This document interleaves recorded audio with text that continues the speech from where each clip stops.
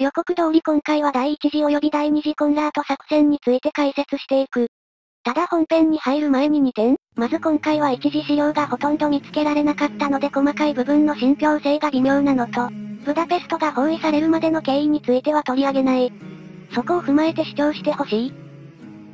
まずブダペストが44年12月26日に包囲されて以降、ドイツ側はそれまでそうだったように空輸によって補給を維持していた。しかし27日にフェリヘジ空港が陥落し、補給を空中投下や大通りへのグライダーの投下への切り替えを余儀なくされ、またドナウ川が凍結する前は橋家による補給も行われていたが、これら方法での補給の効率は劣悪であり、ブダペストの陥落は時間の問題であった。日付を遡って24日、ヒトラーはブダペストが包囲される前より救援作戦の実施を決定。構成において、彼の貴重な装甲部隊をハンガリーに集中させるという戦略は批判されているが、少なくとも44年末時点で、この決定はある程度理論付けされている。まず第一にハンガリーはドイツの最後の主要な同盟国であったほか、石油の産出地でもあり、この方面を突破されると大量なソ連軍がそのままオーストリアになだれ込む可能性があったためドナウ川で防衛線を確保することは戦略的にも重要であった。第2に他の戦線へ目を向けると、東部戦線全体ではソ連軍はバグラチオン作戦の疲労を回復できておらず、10月の東プロイセンへの攻勢を阻止されている。イタリア戦線では数軸軍がガルファニャーナの戦いで勝利を収め、西部戦線では未だバルジの戦いが進行中であった。そのためハンガリー方面さえ解決すれば数軸側は全戦線を安定させることができる。救援作戦が命じられた時、白羽の矢が立ったのが第24装甲軍団と第 4SS 装甲軍団であった。両者ともに個装甲師団により構成されていたが、後者の方が2個大隊分兵力が多かったためハンガリーに送られることになる。軍団の司令官はヘルベルト、オットー、ギレ親衛隊少将、かつて第 5SS 装甲師団の師団長としてコルスン包囲戦で結露を切り開き、多くの将兵を脱出させたことから、彼が来ることを知らされたブダペスト守備隊の士気は向上し、救助の希望が高まった。ただ中央軍集団にとってこの引き抜きは痛手であり、作戦後にポーランドに戻されることから増援もなしにソ連のオーデル、ブイスは構成の2週間前に軍団はハンガリーに送られた。まあこの構成で第24装甲軍団が壊滅したことを考えるとある意味第 4SS 装甲軍団は幸運だったのかもしれない。さて第96と711歩兵師団も増援としてハンガリーに送られ、作戦の制定に入るが、二つの案があった。一つは聖ケシュフェヘールブアールを起点にブエレンスコを南から迂回しブダペストを目指すパウラ作戦。この地域は平地が多く装甲部隊の攻撃に適していたためある程度の成功が約束されたが、部隊の集結にさらに5日かかる他追加で900立方メートルの燃料が必要となる。もう一つはドナウ川に沿って北部から最短距離でブダペストを目指すコンラート作戦であった。こちらは産地が続き戦車攻撃には向かないが、時間がソ連軍の味方である異常奇襲の可能性が高くなる。陸軍総司令部参謀総長であったグデイリアンが前者を支持し、司令部参謀長ノブエンクと南方軍集団司令官ブエイラーが後者に賛成した。最終的に司令部はコンラート作戦を選択、第 4SS 装甲軍参謀であったシェーンフェルダーの回想によると、時間、ブダペスト守備隊の疲労の2要因、そしてブダペストまでの距離が決定だとなった。さて作戦は西部戦線の北風作戦同様、45年1月1日に始まったが、奇襲をあまりにも重視しすぎた結果戦力不足の状態で攻撃することを余儀なくされた。第 4SS 装甲軍団指揮下にあったのは第 3SS、第 5SS、第96、第711の4個師団であったが、攻撃開始時点で到着したのが、第 3SS で戦力の66%、第 5SS で32%、第96で40%、第711に至っては西部戦線から移動中であり、軍団の指揮下ですらなかった。これに加え末期ドイツにありがちな装備不足もついて回り、戦車など問題外であり機関銃ですら不足していた。第 3SS が保持していた機関銃は定数のわずか5割、車両なども2割程度。戦車も2個装甲師団合わせて144両である。詳細は表を見てほしい。また作戦の準備が短期間で行われたため、すでにハンガリーにいた装甲師団もほぼ攻撃に関われず、パーペ集団のみが攻撃に参加できた。一方でソ連軍の状況も良くはなかった。この地域に展開していたのは第4親衛軍であったが、配下にあった狙撃兵師団14個のうち11個の充足率は半分程度であり、予備兵力であった第41新鋭狙撃兵師団と戦車77両、自走砲25両を有する第7機械化軍団は聖ケシュフェヘールブアールに展開されていた。ドナウ川西岸がソ連に制圧されてから間もなかったため、未だに数軸軍残党が抵抗しており、時折ソ連軍司令部に攻撃を仕掛けることもあったという。第 4SS 装甲軍団と直接対峙する第80新鋭狙撃兵師団に関しては12月30日午後2時に初めて防御に転向し、支配地域が岩場まみれだったため残壕すら掘れず、タータからアゴスチャンに至る道路には地雷すら敷設されず、ドイツ軍の攻撃開始後、路肩に転がった敷設前の地雷はたやすく除去された。これら防御の不足は攻撃がないだろうという慢心から来ており、さらに急峻な地形がその慢心を助長させた。ただこの地域には第18戦車軍団が展開しているため、この状況はいくらか相殺される。当軍団は T34-100 両、ISU-122、18両、SU-85、15両を有しており、ドイツ軍の攻撃とブダペスト守備隊の突破に備えていた。さらにこれら地上軍を第3ウクライナ戦線の第17航空軍の航空機861機、第2ウクライナ戦線の第5航空軍の航空機642機が支援する。これと対峙するドイツ第4航空艦隊は588機しか保有していないため、空中ではソ連が優位であった。1月1日22時、つまり攻撃のほんの数時間前に第4新鋭軍司令部では次のような結論が出された。敵は現在の陣地を保有しようとその全力を尽くしており、偵察や陣地維持を目的のみに攻撃を行っている。この時点でソ連側は第 5SS の到着に関して確実な情報を持っていたが、第 3SS に関しては不明であり、本格的な攻撃が行われると夢にも考えていなかった。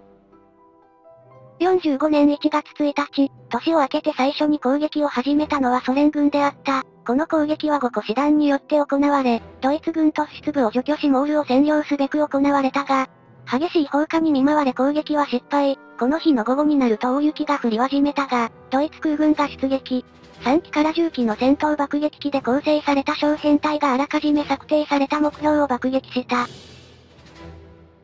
22時ちょうど、戦車と歩兵からなる小集団が偵察のため攻撃に出る。2日2時30分、第 4SS 装甲軍団本体が攻撃を開始、第80新鋭狙撃兵師団の陣地は瞬く間に突破され、ドイツ軍は後方から師団本部があったアゴスチャンを強襲した。また1時から5時の間に第96歩兵師団がモーターボートでドナウ川を渡河。ソ連軍後方地域に強襲上陸を仕掛け共闘砲確保、進撃してきた戦車隊を合流し第80新鋭狙撃兵師団の一部と戦車27両を保有する第170戦車旅団を包囲する。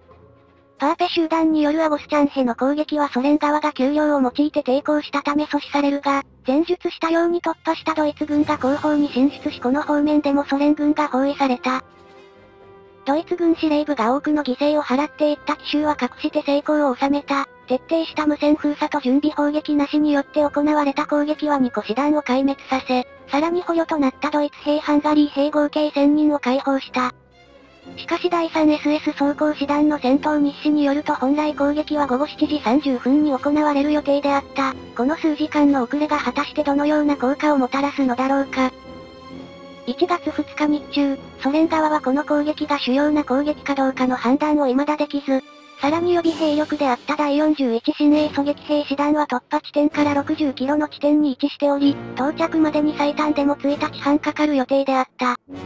そのため第4新鋭軍はモールヘの攻撃に向けていた部隊を解体。第93狙撃兵師団をタルジャンヘ向かわせ、第40及び62狙撃兵師団を予備役に戻し、さらに第5新鋭騎兵軍団を攻撃から外し、前線から約20ケム後方の位置に第18戦車軍団、第86新鋭狙撃兵師団、第2新鋭機械化軍団からなる防衛線を構築した。3日午前5時30分、第110戦車旅団と第363自走砲連隊がバジナに到着、即座に第 3SS 装甲師団の先遣隊と交戦に入りこれを撃退。その日の午後に空軍の支援を受け、ドイツ軍は3方向からバジナを攻撃したがこれは退けられた。ただドイツ空軍の350回にも及ぶ攻撃を常に受けたため、ソ連側は14両の T34 と2両の ISU-122 を喪失。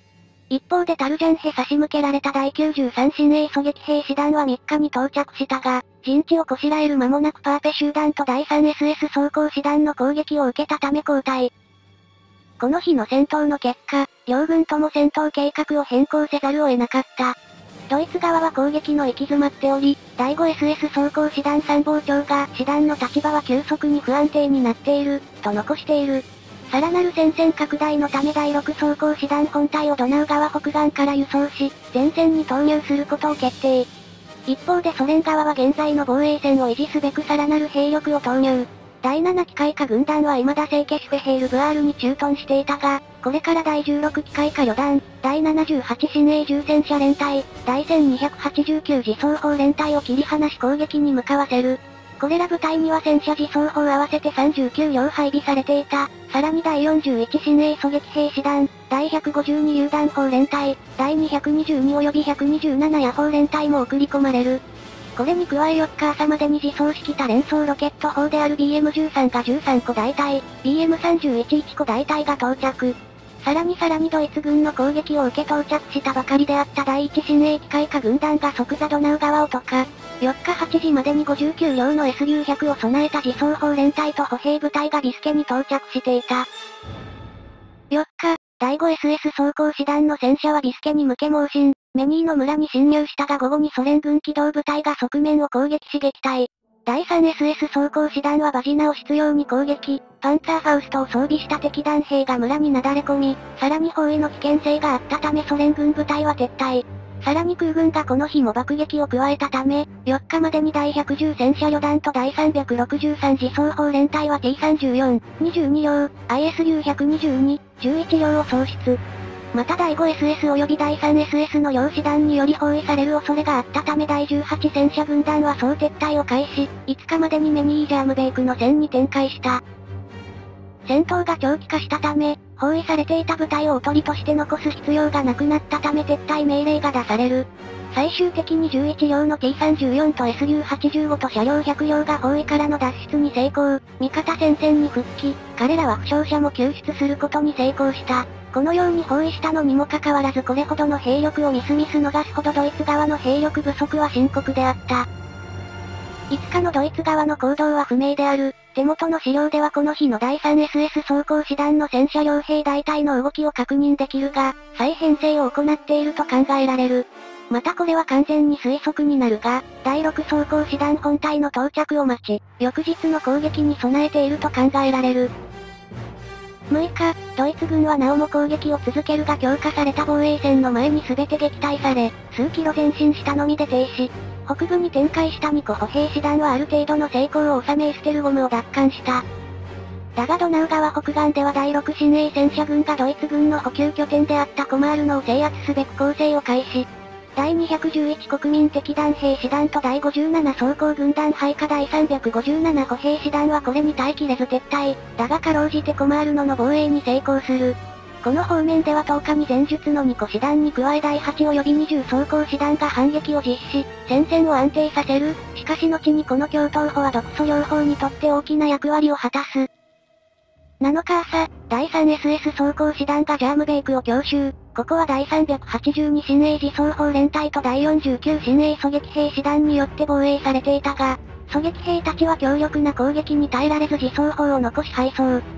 ここでドイツの敵団兵たちは自走砲を排除すべく対戦車手榴弾と火炎瓶で肉弾戦を仕掛ける。自走砲連隊が装備していた SU100 には機関銃がなかったため、乗員たちは消火器で抵抗。この世にも奇妙な接近戦を最終的に制したのはソ連側であり、11両の自走砲が失われたがドイツ軍の突破は阻止された。ビスケ方面では8日まで攻撃が行われたが防衛線の突破はできず、同日に第一次コンラート作戦は中止された。一連の攻撃で親衛隊師団は合計して死傷者約4000人、戦車39両を喪失。一方でソ連側の損害は不明、少なくともここで取り上げた分を合計すると60両の戦車を喪失した。損害はともかくドイツ側は初戦で対象したのにもかかわらず作戦は失敗、ブダペスト守備隊の救出に失敗した。しかし彼らの士気はなおも高く、負傷者でさえも前線で戦い続けることを希望し構想することさえ困難だったという。また8日までに第 4SS 装甲軍団指揮下の4個師団の部隊が全て到着。彼らの2度目の挑戦がもうすぐ始まる。次回、第二次コンラート作戦、ブダペストへの騎兵突撃、ご視聴ありがとうございました。